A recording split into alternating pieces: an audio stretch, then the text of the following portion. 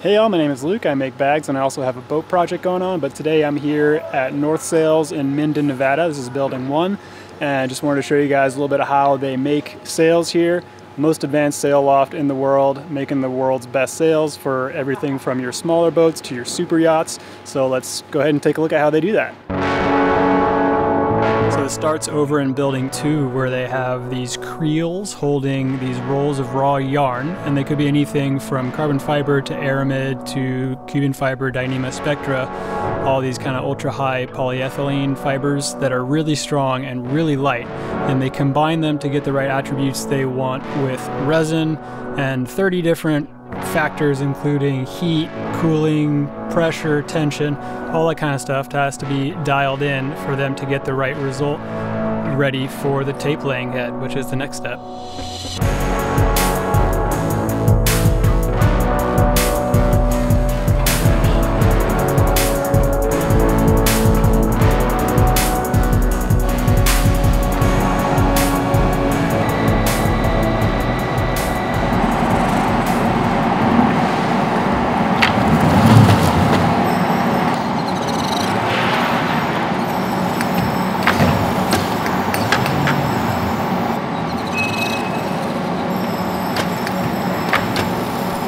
These tape laying heads are using this fiber that has a resin in it that's not quite gone off. So it's a temperature controlled thing, kind of like pre-preg resin when it comes to boat building and aerospace composites, where basically there's a temperature activated resin within this fiber that when cured gets really, really strong.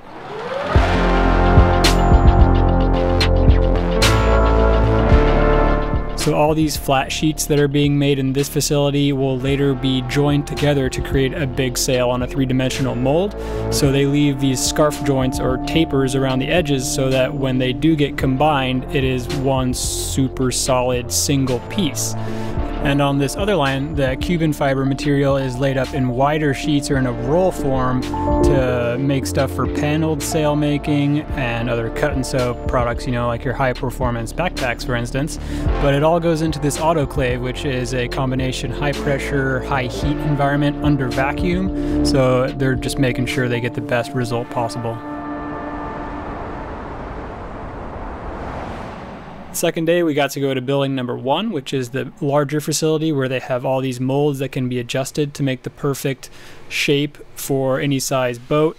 And here they start combining those flat sheets we saw earlier with those scarf joints around the edges together to make big three dimensional sails based on the best characteristics for that boat which involves making custom vacuum bags to make sure that it conforms to the shape just as well, and then heat treating the whole thing to create one giant, strong, flexible piece of fabric that's perfectly three dimensionally shaped.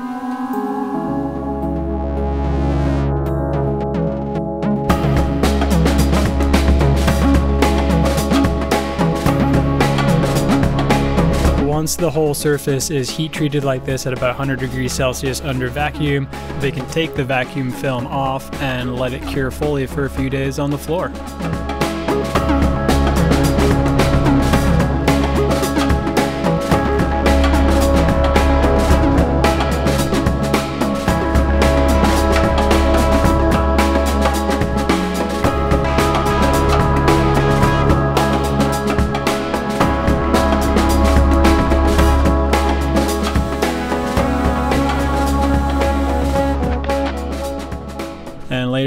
Afternoon, I went for a little trail run. I tried to find a dirt trail over to Genoa or Genoa, which was the first Mormon settlement out here in 1853.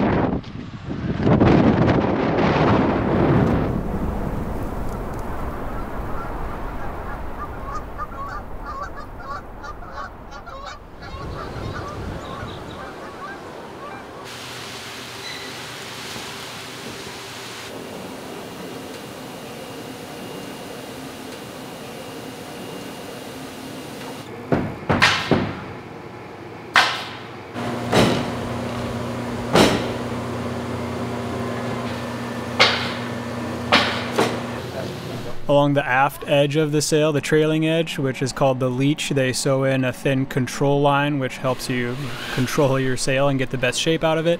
But when you get up to maxi and super yachts, the system gets more complicated and the scale gets a lot bigger too.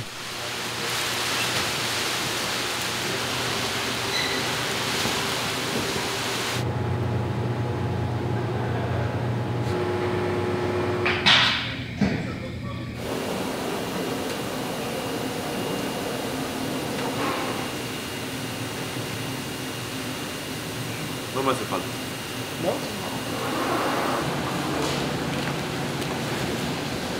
It's just so cool how they have these molds that can be adjusted to make any kind of sail. And here's the curing floor where the sails go for a few days after that before they get shipped off to sail lofts around the world to be finished.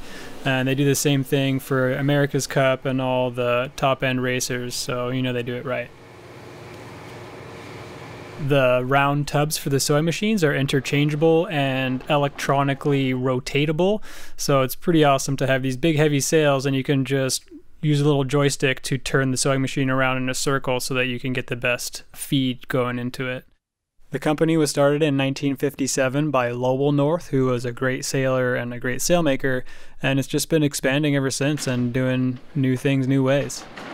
I'm just kind of a nerd for this manufacturing process stuff, and uh, it was really cool to see in person all the molds and all the machines and just how they have things so nicely set up.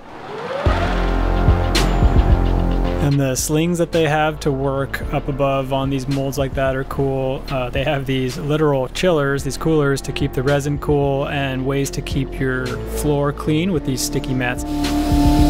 They've been making America's Cup sails going way back, so they know all about the science of it and of how to make it just right, and they bring all that for cruising sails as well. From spools of yarn to rolls to go on the tape head layer to make those smaller pieces on the flat molds to go onto the three-dimensional mold and get vacuum bagged and cured. It's quite the process and it's pretty impressive. Thanks so much for watching. For those of you who don't know, it's how I learned to sew originally, working at North Sails in Portland and in Seattle, doing sail repair, making boat covers, that kind of stuff. So anyway, thanks again, and hopefully I'll have some fun, exciting news soon.